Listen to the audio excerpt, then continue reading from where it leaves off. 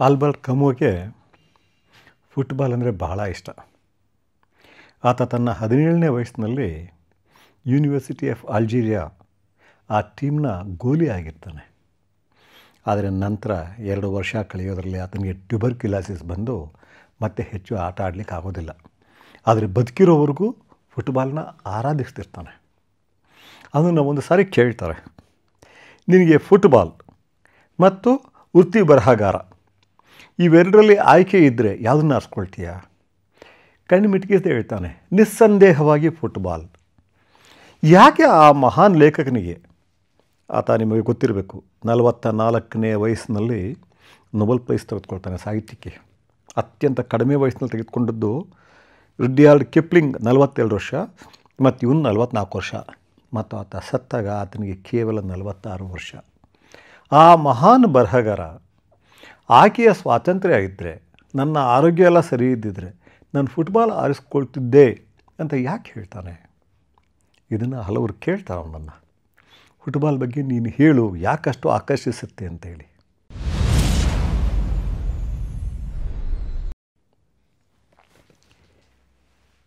Football ನಿಮಗೆಲ್ಲ ಗೊತ್ತೇ ಇದೆ. ತಂಡ, ನಮ್ಮ ಕ್ರಿಕೆಟ್ನ ಹಾಗೆ ಟೀಮ್ ಟೀಮ್ ಸ್ಪೋರ್ಟ್ಸ್ ಒಂದು ಕ್ರೀಡೆ, ತಂಡಗಳ ಆಡುವ ಕ್ರೀಡೆ. ಆ ತಂಡದಲ್ಲಿ ಸಾಮಾನ್ಯವಾಗಿ ನಾವೇನು ಅಂದ್ಕೊಳ್ತೀವಿ ಹತ್ತು ಜನ, ಹನ್ನೊಂದು ಜನ ಆಡೋ ಕಡೆ ಆ ವ್ಯಕ್ತಿ ಒಬ್ಬ ಏಕೈಕ ಆಟಗಾರ, ಎಲ್ಲರ ಮೇಲೆ ಡಿಪೆಂಡ್ ಆಗಿರೋದ್ರಿಂದ ಕಳೆದೋಗಿರ್ತಾನೆ ಅಂತ. ಕಾಮು ಹೇಳ್ತಾನೆ, ಹಾಗಲ್ಲ ಅದು.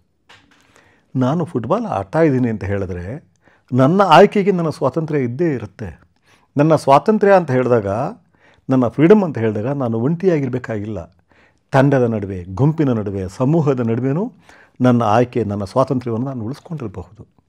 ಒಂದು ಬಾಲ್ ನನ್ನ ಹತ್ರ ಬರುತ್ತೆ. ನಿಮಗೆ ಫುಟ್ಬಾಲ್ ಬಗ್ಗೆ ತಾಂತ್ರಿಕವಾಗಿ ಎಷ್ಟು ಗೊತ್ತೋ ನನಗೆ ಗೊತ್ತಿಲ್ಲ. ಅಲ್ಲಿ ಎರಡು ಥರ ಇದೆ.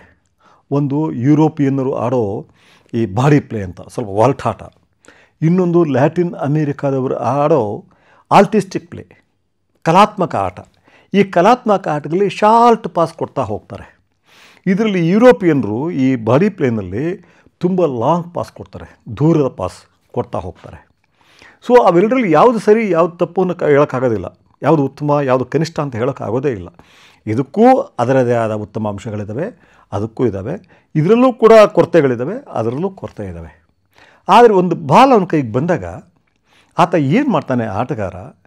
ಅವನು ನೋಡ್ತಾನೆ, ಅವನು ಫಾರ್ವರ್ಡ್ ಕಳಿಸ್ಲೋ, ಅಥವಾ ಡಿಫೆನ್ಸಿವ್ ಆಗಿ ನನ್ನ ಗೋಲಿ ಹತ್ರ ಕಳಿಸ್ಲೋ, ಅಥವಾ ಸೆಂಟ್ರಲ್ ಇದು ಅಥವಾ ಟೈಮ್ ಪಾಸ್ ಮಾಡಲೋ ಪಕ್ಕದೊಂದಿಗೆ ಕೊಟ್ಕೊಂಡು ಕೊಟ್ಕೊಂಡು ಹೋಗೋದು. ಈಗ ಶಾರ್ಟ್ ಪಾಸ್ ಕೊಡೋದಾದರೆ, ಈ ಲ್ಯಾಟಿನ್ ಅಮೇರಿಕಾದ್ರೆ ಒಬ್ರಿಗೊಬ್ರು ಕೊಟ್ಕೊಂಡು ಕೊಟ್ಕೊಂಡು ಆ ಗೋಲಿ ಹತ್ರ ಹೋಗ್ತಾರೆ. ಅದೇ ಇದು ಯುರೋಪಿಯನ್ ಆಟಗಾರರಾದರೆ ಇಲ್ಲಿಂದ ಅವನು ಏರ್ನಲ್ಲಿ ಹೊಡಿತಾನೆ, ಜೋರಾಗಿ ಹೊಡಿತಾನೆ. ಆದರೆ ಇಲ್ಲಿ ಮುಖ್ಯವಾದದ್ದೇನು ಅಂದರೆ, ಒಂದು ಸಾರಿ ಬಾಲು ನೀವು ಅಥವಾ ನಾನು ಆಟಗಾರ ಆಗಿದ್ದೀನಿ ಅಂದರೆ ನನ್ನ ಕಾಲಿಗೆ ಸಿಕ್ಕಿದಾಗ, ನನ್ನ ಹತ್ರ ಬಂದಾಗ ನನ್ನ ಸ್ವಾತಂತ್ರ್ಯ ಇದೆ, ನಾನು ಅಲ್ಲಿಗೆ ಕೊಡಲು, ಇಲ್ಲಿಗೆ ಕೊಡಲು. ಟೀಮ್, ಆ ಟೀಮ್ನ ಆಯ್ಕೆ ಬೇರೆ ಇರಬಹುದು. ನಾನು ಅಫೆಂಡರ್ ಕೊಡಲಿ ಗೋಲ್ ಹತ್ರ ಇರೋನಿಗೆ ಅಂತ ಇರಬಹುದು. ಆದರೆ ನನಗೆ ಆ ಕ್ಷಣದಲ್ಲಿ ನನ್ನ ಇದು, ನನ್ನ ಆಯ್ಕೆ ಸರಿ ಅಂತ ಅನಿಸೋದು, ಬೇಡ, ಅವನ ಪಕ್ಕ ಇನ್ನೊಂದಿಬ್ಬರು ಇದ್ದಾರೆ ಸೊ ಬಾಲ್ ಮಿಸ್ ಆಗೋ ಚಾನ್ಸ್ ಇರುತ್ತೆ ಅಂತ ಹೇಳಿ ನಾನು ನನ್ನ ಹಿಂದೆ, ನನ್ನ ಗೋಲಿ ಕಡೆಗೇ ಕೊಡಬಹುದು. ಆ ಹತ್ರ ಇರೋ ಇನ್ನೊಬ್ಬ ಆಟಗಾರನಿಗೆ ಡಿಫೆನ್ಸ್ ಆಟಗಾರನ ಕೊಡಬಹುದು. ಹೀಗೆ ನನ್ನ ಕೈಗೆ ಬಂದ ತಕ್ಷಣ ನನ್ನ ಇದು. ಅದೇ ರೀತಿ ಈ ತಂಡದ ಆಯ್ಕೆ ಜೊತೆಗೆ ಸ್ಪೆಕ್ಟೇಟರ್ ಯಾಕೆಂದರೆ ಯಾವುದೇ ಒಂದು ಸ್ಪೋರ್ಟ್ಸ್ನ ಬರೀ ಆಟಗಾರ ಆಡೋದಿಲ್ಲ. ಆ ಆಟದ ಸ್ಪೆಕ್ಟೇಟರ್ಸ್ ಇರ್ತಾರೆ. ಯಾಕೆ ಸ್ಪೆಕ್ಟೇಟರ್ಸ್ ಈ ಅಭಿಮಾನಿಗಳು, ವೀಕ್ಷಕರು ತುಂಬ ಇರ್ತಾರೆ? ಸಿನಿಮಾ ಆಗಲಿ, ಆಟ ಆಗಲಿ, ಖುಷಿ ಕೊಡುತ್ತೆ. ಈ ಖುಷಿಯಿಂದ ಏನು ಪ್ರಯೋಜನ? ಈ ಖುಷಿ ಜೀವನದಲ್ಲಿ ಬೇರೆ ನಾವು ಮಾಡ್ತೀವಲ್ಲ, ಎಲ್ಲ ಕೆಲಸ ಅದಕ್ಕೆ ಉತ್ಸಾಹ ಕೊಡುತ್ತೆ ಎನರ್ಜಿ ಕೊಡುತ್ತೆ. ಹಾಗಾಗಿ ನಮಗೆ ಕಲೆ ಬೇಕು, ಸಿನಿಮಾ ಬೇಕು, ಸಂಗೀತ ಬೇಕು, ಆಟಗಳು ಬೇಕು.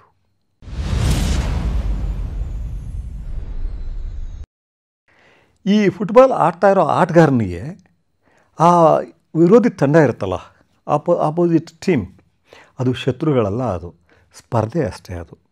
ಯಾಕೆಂದರೆ ಅವನಿಗೆ ಗೊತ್ತು ಅವನಿಗೆ, ಅಲ್ಲಿ ಮುಖ್ಯ ಇರೋದು ಬಾಲ್ ಆ ಬಾಲ್ ನನಗೂ ಸೇರಿದ್ದು, ಅವನಿಗೂ ಸೇರಿದ್ದು. ಅಥವಾ ಅವನಿಗೂ ಸೇರಿದ್ದಲ್ಲ, ನನಗೂ ಸೇರಿದ್ದಲ್ಲ ನ್ಯೂಟ್ರಲ್ ಆ ಬಾಲಿನ ಮೇಲೆ ಹೆಚ್ಚು ಹೆಚ್ಚು ಯಾರು ಹಿಡ್ತಾ ತೊಗೊಳ್ತೀವಿ, ಅವನು ಗೆಲ್ತಾನೆ. ಒಂದು ಸಾರಿ ನನ್ನ ಕೈಲಿರುತ್ತೆ, ನಾನು ತೊಗೊಂಡೋಗ್ತೀನಿ. ಇನ್ನೊಂದು ಸಾರಿ ಅವನ ಕೈಲಿರುತ್ತೆ, ಅವನು ತೊಗೊಂಡೋಗ್ತಾನೆ. ಮತ್ತು ಸಾಕಷ್ಟು ಸಾರಿ ಆ ಟೀಮಿನ ಆಟಗಾರ ಯಾವುದೋ ಒಂದು ಸಮಯದಲ್ಲಿ ಈ ಟೀಮ್ಗೆ ಸೇರ್ಪಡೆ ಆಗ್ತಾನೆ.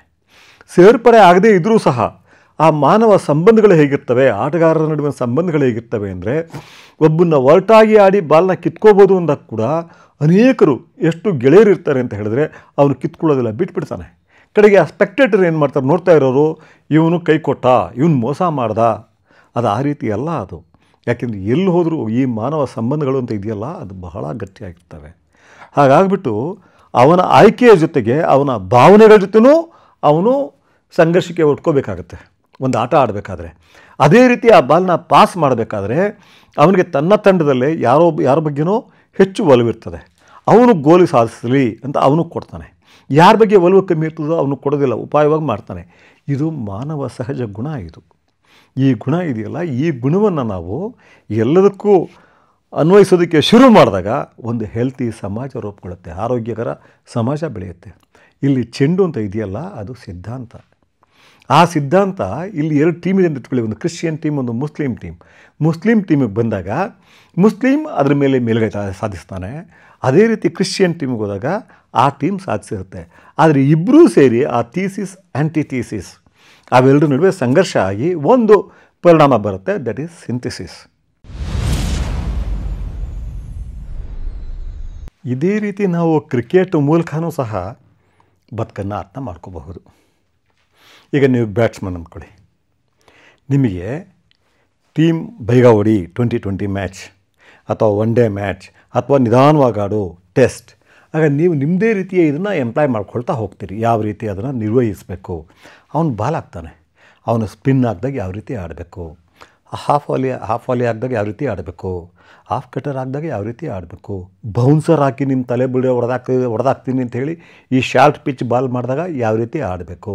ರಿವರ್ಸ್ ಸ್ವಿಂಗ್ ಮಾಡಿದಾಗ ಏನು ಮಾಡಬೇಕು? ಗೂಗ್ಲಿ ಹಾಕಿದಾಗ ಏನು ಮಾಡಬೇಕು? ನೀವೇ ತೊಗೊಳ್ತೀರಿ. ಮತ್ತು ಯಾವ ಬಾಲ್ ಬೇಕಾದ್ರೂ ನೀವು ಸಿಕ್ಸ್ ಹೊಡಿಬಹುದು. ಅವನು ಯಾರ್ಕಾರ ಹಾಕಿದ್ರೂ ಕೂಡ ದೊಡ್ಡ ಪ್ಲೇಯರು ಸಿಕ್ಸ್ ಹೊಡೆದು ಬಿಡ್ತಾನೆ. ಸೊ ಅದೇ ರೀತಿ ಯಾವ ಬಾಲಕ್ಕೆ ಬೇಕಾದರೂ ಔಟ್ ಆಗಬಹುದು ಸೊ ನೀವು ನಿಮ್ಮ ಇದನ್ನು ಎಂಪ್ಲಾಯ್ ಮಾಡ್ಕೊಳ್ತಾ ಹೋಗ್ತೀರಿ. ಅಲ್ಲಿ ಅವನು ಮುಖ್ಯ ಆಗೋದಿಲ್ಲ. You are challenging your talent ನಿಮ್ಮ ಪ್ರತಿಭೆಯ ವಿರುದ್ಧ ನಿಮ್ಮ ಹೋರಾಟ. ಆ ಬಾಲ್ನ ನನ್ನ ಮನಸ್ಸನ್ನು ಸಂಪೂರ್ಣವಾಗಿ ತೆರೆದಿಟ್ಕೊಂಡು ಅದಕ್ಕೆ ತಕ್ಕಂತೆ ರಿಯಾಕ್ಟ್ ಮಾಡ್ತಾ ಹೋಗೋದು. ಅದೇ ರೀತಿಯಲ್ಲಿ ನೀವು ಅದನ್ನು ಶಾಸ್ತ್ರೀಯವಾಗಿ ಬೇಕಾದ್ರೆ ಆಡಬಹುದು ಅಂದರೆ as per book as per rules ನಮ್ಮ ತೆಂಡೂಲ್ಕರ್, ಸಂಪೂರ್ಣ ಆಟಗಾರ. ಆತ ಸಾಮಾನ್ಯವಾಗಿ ಆಡ್ತಾ ಇದ್ದದ್ದು ಆರ್ಥೋಡಾಕ್ಸ್ ಸಾಂಪ್ರದಾಯಿಕ ಸ್ಟೈಲ್ನಲ್ಲಿ ಆದರೆ ಎಷ್ಟು ಚೆನ್ನಾಗಿ ಆಡ್ತಿದ್ದ, ಹಾಂ? ಈಗ ಆತನಿಂದ ನೀವು ಅಥವಾ ನಾನು ತರಬೇತಿ ಹೊಂದಿದರೆ ನಾವು ಅದನ್ನೇ ಫಾಲೋ ಮಾಡ್ತೀವಿ. ಹಾಗೆಯೇ ಸೌತ್ ಆಫ್ರಿಕಾದಲ್ಲಿ ಒಬ್ಬ ಆಟಗಾರ ಇದ್ದಾನೆ ಡಿ ವಿಲಿಯರ್ಸ್ ಅಂತ. ಅವನ ಆಟ ನೀವು ನೋಡಿರಬೇಕು. ಮೈ ಗಾಡ್ ಎಷ್ಟು ಅನ್ನಾರ್ಥೋಡಾಕ್ಸ್ ಅಂದರೆ ನಾವು ಊಹಿಸ್ಕೊಳ್ಳೋದಕ್ಕೆ, ಕಲ್ಪಿಸ್ಕೊಳ್ಳೋದಕ್ಕೂ ಸಾಧ್ಯ ಇಲ್ಲ. ಆ ರೀತಿ ಬಾಲ್ಗಳನ್ನ ನಿರ್ವಹಿಸ್ತಾನೆ. ನಾವು ಸಾಧ್ಯನೇ ಇಲ್ಲ ಡಿಫೆನ್ಸ್ ಹೊಡಿಬೋದು ಅಂದರೆ ಸಿಕ್ಸ್ ಹೊಡಿತಾನೆ.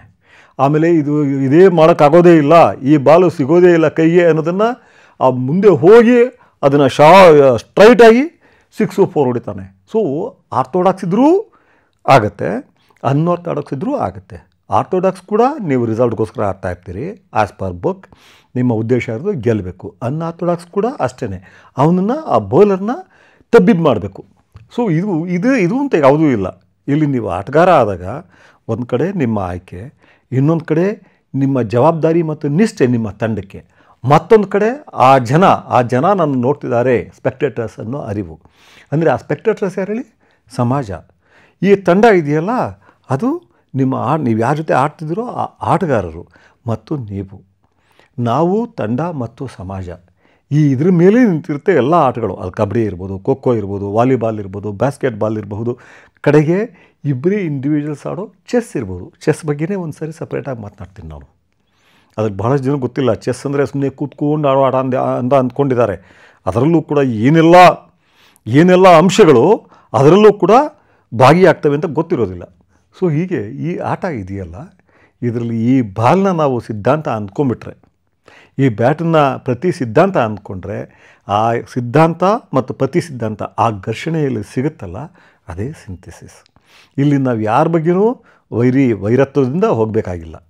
ಎಲ್ಲಿ fight is against myself ಅವನು ಅಲ್ಲಿ ಮಾಡ್ತಾ ಇರೋ ಬೌಲರ್ ನನ್ನ ಟ್ಯಾಲೆಂಟನ್ನು ನಾನು ಅರ್ಥ ಮಾಡ್ಕೊಳ್ಳೋದಕ್ಕೆ ಅನುಕೂಲವಾಗಿರೋ ಒಂದು ಯಂತ್ರ. ಅವನೇ ನನಗೆ ಮುಖ್ಯ ಅಲ್ಲ, ಆತ ವೈರಿ ಅಲ್ಲ. ತುಂಬ ಹೆಚ್ಚು ಅಂತ ಹೇಳಿದಾಗ ಆತ ಸ್ಪರ್ಧೆ ಅಷ್ಟೇ. ಒಂದು ಸಲ ನಾನು ಬೌಲ್ ಮಾಡ್ತೀನಿ, ಈಗ ಅವನು ಬೌಲ್ ಮಾಡ್ತಿದ್ದಾನೆ. ನಾನು ಬ್ಯಾಟಿಂಗ್ ಆಡ್ತಿದ್ದೀನಿ, ಅವನು ಬ್ಯಾಟಿಂಗ್ ಆಡ್ತಿದ್ದಾನೆ. ಇಬ್ಬರು ಉದ್ದೇಶವೂ ಒಂದೇ. ಉತ್ತಮವಾದ ಆಟ ಆಡೋದು. ಗೆಲುವು ಸೋಲು ಹೇಳೋಕ್ಕಾಗಲ್ಲ. ಒಂದು ಸಲ ನಾನು ಗೆಲ್ಬೋದು ಒಂದು ಸಲ ಅವ್ನು ಗೆಲ್ಲಬಹುದು ನಮ್ಮ ತಂಡ ಗೆಲ್ಬೋದು, ಆ ತಂಡ ಗೆಲ್ಲಬಹುದು ಆದರೆ ಉತ್ತಮ ಆಟ ಆಡೋದಿದೆಯಲ್ಲ, ಅದು ಮುಖ್ಯ. ಆಗ ಮಾತ್ರ ಆರೋಗ್ಯಕರವಾದ ಆಟ, ಆರೋಗ್ಯಕರವಾದ ಸ್ಪರ್ಧೆ ಮತ್ತು ಆರೋಗ್ಯಕರವಾದ ಸಮಾಜ ಸ್ಥಾಪನೆ ಆಗುತ್ತೆ. ಜರ್ನಿ ಆರಂಭ ಆಗಿದೆ. ನೀವೆಲ್ಲರೂ ನನ್ನ ಜೊತೆ ಪಯಣಿಸಬಹುದು. ಎಲ್ಲರೂ ಒಟ್ಟಾಗಿ ಪಯಣಿಸೋದಕ್ಕೆ ಶುರು ಮಾಡಿದ್ರೆ ನಾವು ಒಂದು ಮಾನವೀಯ ಬದಲಾವಣೆಯನ್ನು, ಅರ್ಥಪೂರ್ಣ ಬದಲಾವಣೆಯನ್ನು ತರಬಹುದು. ಸಬ್ಸ್ಕ್ರೈಬ್ ಮಾಡ್ಕೊಳ್ಳಿ. ಕಾಮೆಂಟ್ ಮಾಡಿ ಲೈಕ್ ಮಾಡಿ.